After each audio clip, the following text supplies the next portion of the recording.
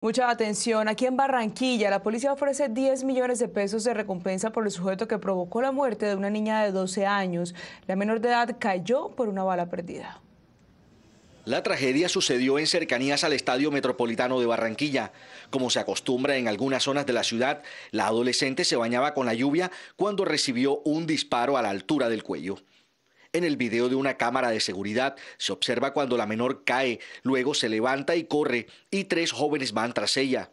Según testigos, metros más adelante se desplomó nuevamente y falleció. Estaban la banda, los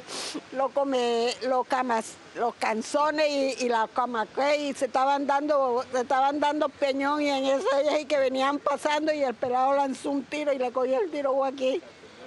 Cuando la recogieron, la recogieron sin signos vitales.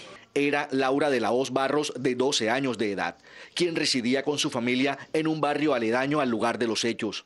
La policía indicó que ya tienen información para capturar a la persona que disparó. Ofrecemos una recompensa hasta de 10 millones de pesos quien nos dé información para encontrar al responsable, poderlo capturar y también una invitación a que se entregue.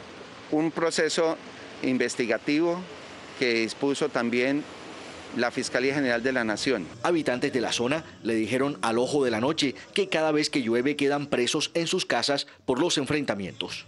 No es invivible cada vez que llueve.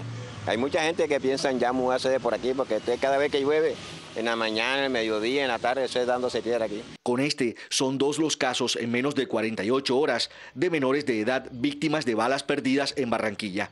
El primero fue el niño de tres años herido durante un sepelio, quien aún se encuentra hospitalizado.